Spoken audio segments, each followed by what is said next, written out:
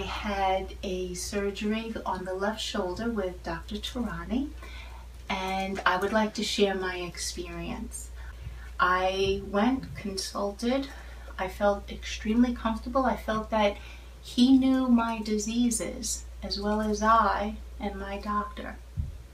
He sent me for further testing um, and was confident that he could help me and to relieve me of uh, pain for a longer duration.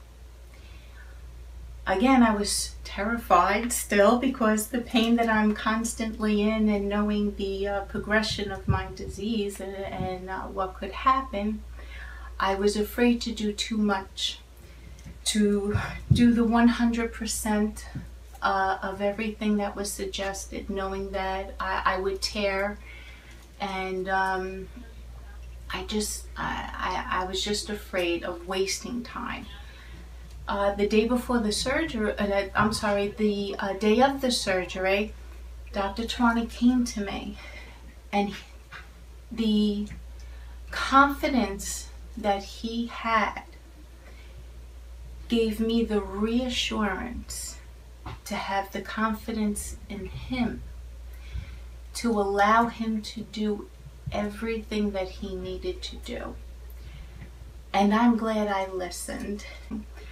And um, he would give me longer relief and a, a better quality of life.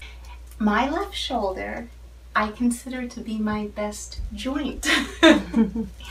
and um, which is amazing because there was only one tendon left and having rheumatoid arthritis and connective tissue disease and fibromyalgia and a slew of other things wrong. I um I I'm so grateful. Uh, he sent me for PT right away with Jason at TLC who, um, you know, helped me to get the full range of motion.